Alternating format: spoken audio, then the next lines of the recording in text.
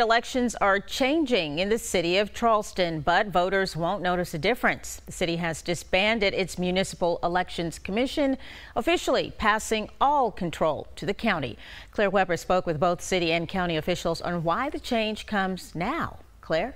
Tessa, the county's Board of Elections has already been running the city's races, but it was the city commissioners who would certify the results. After a city council vote last Tuesday, the county will now do it all. We don't have capacity to do this, nor is it an effective use of our time when the county already does such a great job. The city of Charleston has joined the long list of municipalities whose elections are controlled by Charleston County.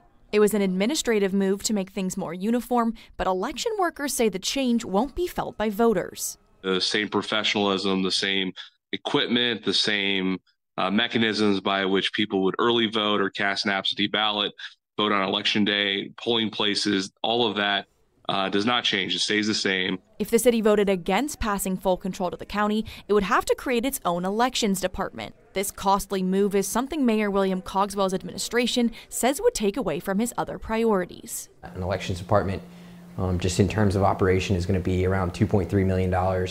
Um, the staffing and operations of that, not to mention the extra equipment that we'd have to get, probably run north of that. But the vote was not unanimous. Karl Brady is one of the two city council members who voted against the change. He fears it could make elections unnecessarily partisan.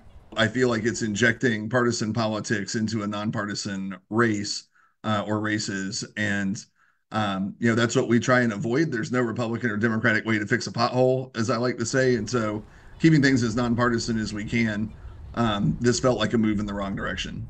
But county officials emphasize this won't happen. I want to make it very clear the, the, the Charleston County Board of Voter Registration and Elections is an appointed board. They are all nonpartisan. We don't we don't register by party in South Carolina.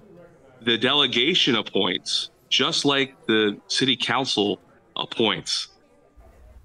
The first City of Charleston elections where this change will be in effect isn't until November 2025. Working for you, Claire Weber, News 4.